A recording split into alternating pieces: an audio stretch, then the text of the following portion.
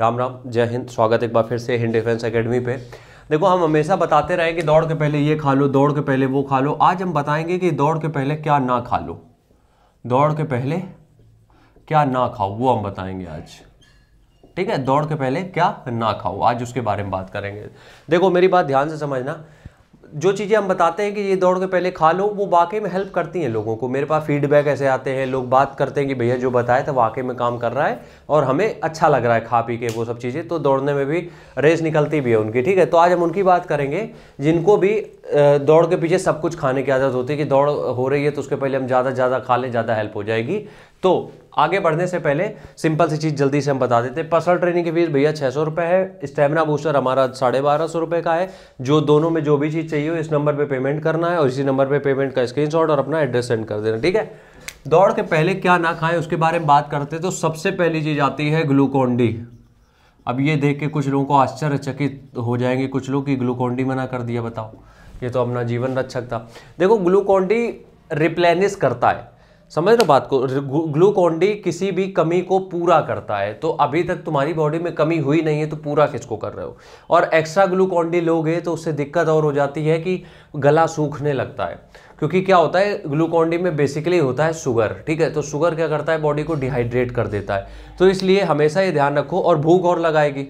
तो इसलिए Glucon D कभी भी जब भी लेते हो तो वो दौड़ के बाद लिया जाता है, ना कि पहले। तो कोशिश करो ट्राई टू अंडरस्टैंड यही होती इंग्लिश हाँ try to understand good try to understand कि तुम्हें ये जो, क्या कहते हैं, इसकी हम जो बात कर रहे थे, किसकी ग्लूकॉन डी की, वो पहले नहीं लेना होता है रिप्लेनिश करता है, ना कि पहले लेके तुम फालतू में अपना नाटक करवा लोगे, ठीक है? तो ग्लूकॉन डी पहले नहीं लेना है, इस बात को गांठ बाँध लो। दूसरी चीज़?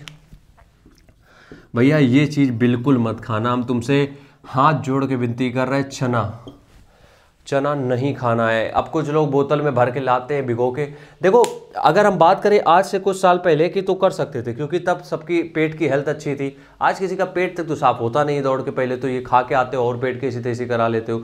अब जब तुम ये खा के आते हो ना चना वना उसके बाद रनिंग करने जाते हो, उससे दिक्कत तुम्हें सिर्फ़ ये नहीं होगी कि तुम रनिंग नहीं कर पा रहे हो पूरे फोकस के साथ। उसमें दिक्कत तुम्हें एक सबसे बड़ी जो दिक्कत होने वाली वो ये दिक्कत होगी कि चना जब तुम खाओगे तो वो डाइजेशन में इतनी एनर्जी चली जाती है कि तुम दौड़ में 200 मीटर में तुम्हारी साँसें फूल जाएँगी, घबराहट होने लगेगी। अब ये चीज़ें तुम्हें समझ में आती नहीं, क्योंकि तुम्हें लगता है कि चना शक्ति देता तो कभी भी होंक लो। नहीं, हर चीज़ की टाइमिंग होती है। चने को दो घंटे चाहिए डाइजेस्ट होने के लिए।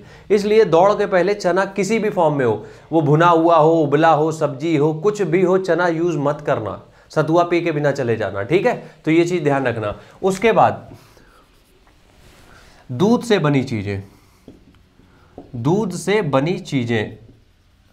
दूध से बनी चीज़ों में सिर्फ़ दूध ही शामिल है, समझो मेरी बात को, ठीक है? दूध से बनी चीज़ों में दूध ही शामिल है। अब इसमें हम क्या छेना जो आता है, उसकी बात नहीं कर रहे हैं, दही की बात नहीं कर रहे हैं। हम सिर्फ़ दूध की बात कर रहे हैं कि दूध वाला दलिया खा लिया, दूध से बना ओट्स खा लिया, हम इसकी बात कर रहे हैं, क्योंकि क्या होता है, ये जो जितने भी दूध से बने प्रोडक्ट होते हैं, ये तुम्हारे डाइजेशन की धड़ाम कर देंगे, डाइजेशन की छीछा लेदर कर देंगे। इसलिए डाइजेशन ठीक करने के लिए, या डाइजेस्टन डाइजेस्टन नहीं, डाइजेशन, डाइजेस्टन ठीक है डाइजेशन तुम्हारा ठीक बना रहे, उसके लिए कोशिश ये करो कि दूध से बनी चीज़, जैसे कि दलिया, ओट्स, ये सब मत खाओ।